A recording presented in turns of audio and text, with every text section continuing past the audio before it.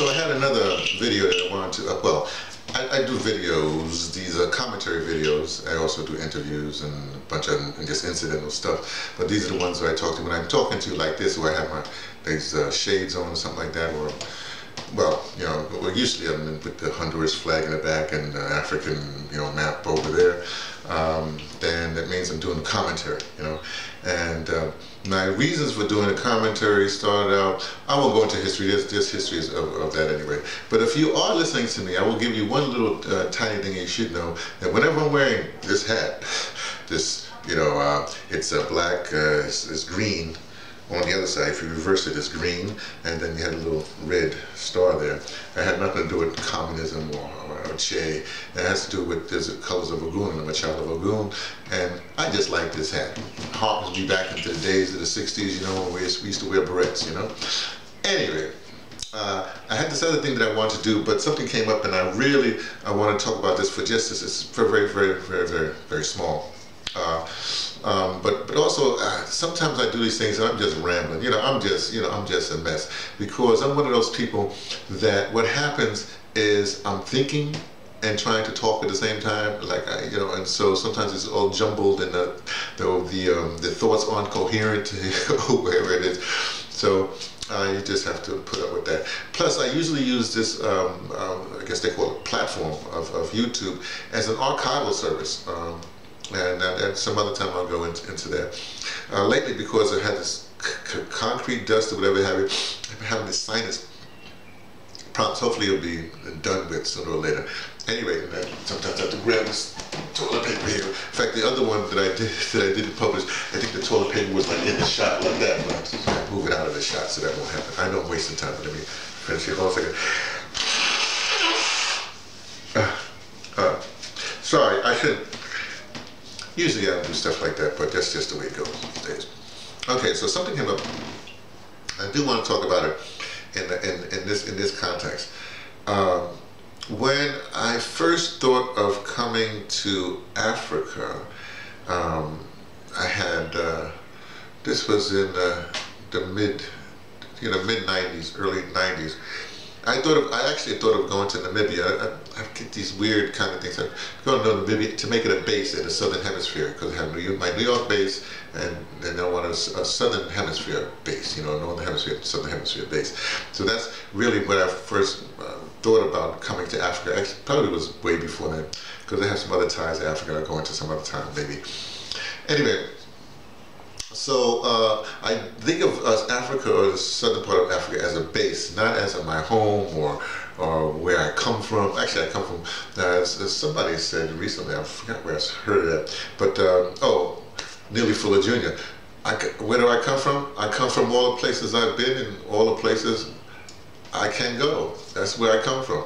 But you want to know where I was made. Now, I was made in the South Bronx of New York City. That's totally different than where I come from because you, you come from basically Neely Fuller Jr. was basically saying you come from every place. You even come from the moon because you're, you're stardust. You, so everything is in you, so you come from those places that in you. Blah, blah, blah. It's a whole, you know, philosophical, whatever, existential argument, whatever it is. Okay.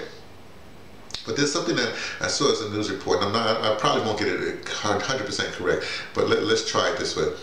There are, I think it's just, now is there 55 or 57? I keep on forgetting the number of African nations there are because they keep on splitting off and making another African nation, which makes absolutely no sense because these lines that were drawn by the colonialists or whoever draws these lines and make up countries, you know, that's, it's, it's meaningless. Right? It's meaningless for some people, it's totally meaningless, you know?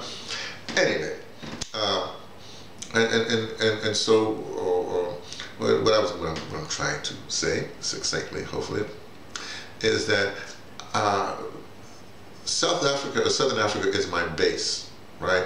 My other base in the States right now, since I'm an American citizen, is uh, Virginia. That's that's where I'm, you know I'm, I'm a New Yorker, but you know I'm, uh, Virginia is now my uh, residential, legal, whatever, whatever home, right? Now, because of this um, this circumstance, I don't really get back uh, I don't really get back to the States often. I'm not really enamored with the States at all, right? Uh, but, you know, I have friends and, you know, every once in a while I got to see, but I always tell them, yeah, hey, you can come to Africa. You know, why do I have to go that way? Okay. Uh, but the thing that came up with these nations, you know, whether they're 55, 57, how many, how many nations are, but they just had a conference, I think it was in uh, Kenya, I'm not really sure where they had the conference at, or. Someplace had this conference where they were signing this, this accord. 44 of these nations signed it. Um, somehow Nigeria didn't show up, and South Africa didn't show up. I don't know what's wrong with you know. I, these, they got, I guess they got these schemes going, and they don't want to take part. Anyway, um, 44 of these nations signed this accord, basically establishing a, a, an enterprise zone, if you will, you know, a, a, a, a, merchant's kind of zone where you can go from one country to the other without all all the red, all the paperwork that's involved, you know, which is a good thing. This is what I've been waiting for for a long time. Now, because I have another step in this, you know, you you you'll have a, a, situation where you can your passport will get you to any other countries that signed this accord, okay?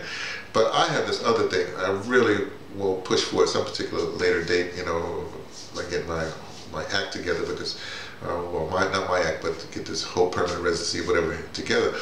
And that is to have a, uh, a, a, stamp uh, or a visa in, in, any passport from for any uh, um, uh, some African from the diaspora, you know, which would include us who are, who, who are considered um, I would say, uh, uh, descendants of chattel slavery.